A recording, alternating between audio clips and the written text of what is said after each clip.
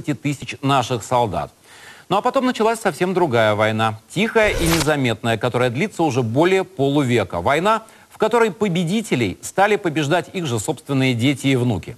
Оставшимся в живых ветеранам Великой Отечественной войны сейчас за 80. И по-прежнему в преддверии каждой праздничной даты они слышат от сильных мира сего, что получат жилье к 30 году, что ветеранские пенсии в нефтегазовой-то стране позволят воевавшим старикам не думать о хлебе насущном. Ну а на деле происходят вещи, которые просто в голове не укладываются. Так, в эту пятницу читатель интернет-издания «Фонтан.ру» сообщил, что в одном из садоводств Ленобласти на дачном участке дворовые дорожки выложены плитами с могил воинов Великой Отечественной, тех, кто погиб под Амгою, Любанью и Синявино. У меня на этот счет, вообще-то, честно говоря, нету комментариев. Единственное, что я могу сделать, это извиниться перед ветеранами за тех людей, которые ну, явно не ведают, что творят, и предоставить слово тем, без кого нас вообще-то могло бы и не быть.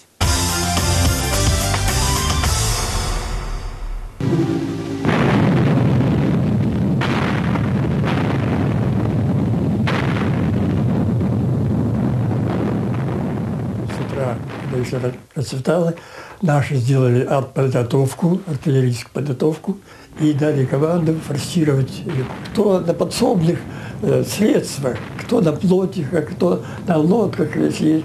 Ну, противник, видит, он беспрерывно бьет по, по нашим направляющим. Кто-то где-то перевернулся, был плотик, там кричат, спасите. Рядом взорвался снаряд, что нашу лодку пробило, понимаете.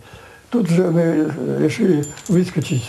Благодаря, а когда мелко по, по пояс, мы, значит, лодку бросили и уже Броном перебрались, тоже подогрем противника, перебрались в ту сторону э, Вислы.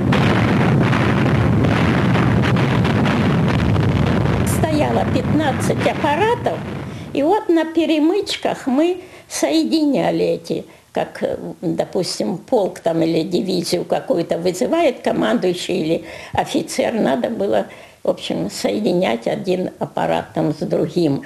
Этими.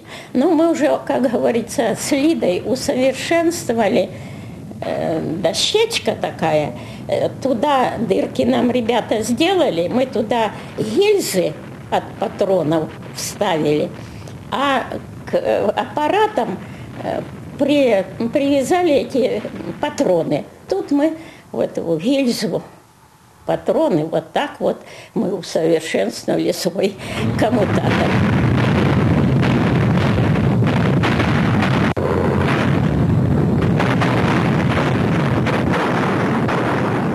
Через понтонный мост начали форсировать, но нас э, с воздуха поддерживали авиация, понимаете? И вдруг кричат, да, зенитки заработали. Сбили самолет, называется аэрокобра, американская. И что там такое? Американец бомбит переправу. Понимаете? Его за грудки, ну там не знаю, что там было, наверное, его вообще убили. Понимаете? Это называется второй фронт.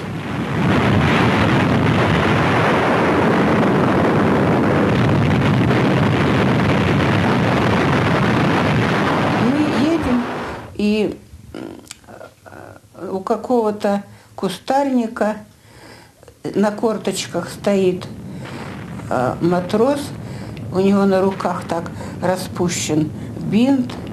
Я говорю, что это что? Поедем туда. Подъехали, а он мертвый.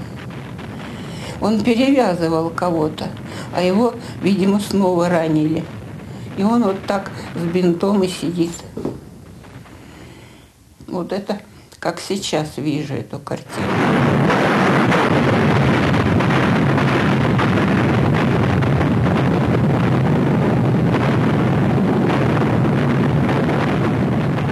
Провалилась машина, но всех спасли. И, значит, всех в медицинскую палатку обогреваться.